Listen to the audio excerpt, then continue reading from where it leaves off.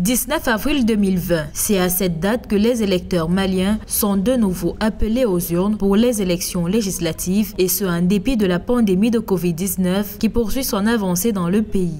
Il reste, mes chers compatriotes, la question du second tour du scrutin des élections législatives, lesquelles sont normalement prévues le 19 avril 2020. Ultime instance de validation des résultats.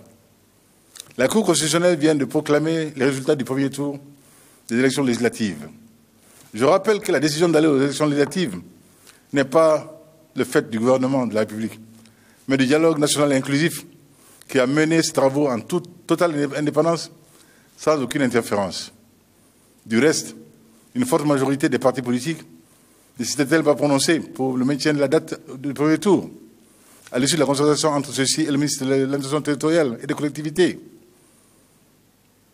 Une telle décision du dialogue national inclusif résulte, c'est perceptible, d'une réflexion mûrie sur notre histoire immédiate, laquelle nous enseigne qu'en démocratie, rien ne vaut la pleine légalité constitutionnelle ainsi que le jeu normal des institutions. Cependant, il est de la responsabilité du gouvernement de faire en sorte que lors du second tour des législatives prévu le 19 avril prochain, toutes les mesures, je dis bien toutes les mesures sanitaires et sécuritaires requises soient rigoureusement appliquées. Je m'y engage devant vous.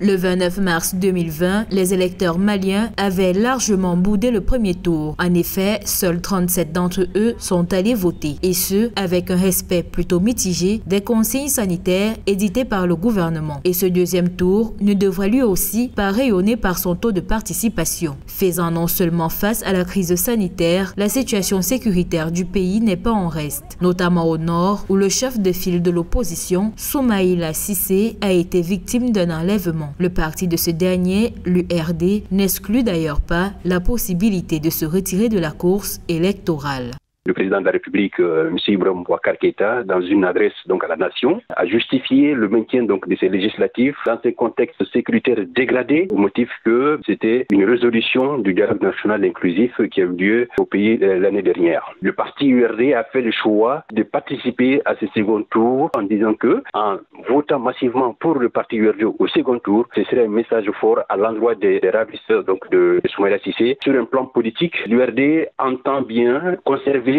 sa position de deuxième force politique au pays qui va dans le sens du maintien au niveau de l'Assemblée nationale mais aussi au niveau national.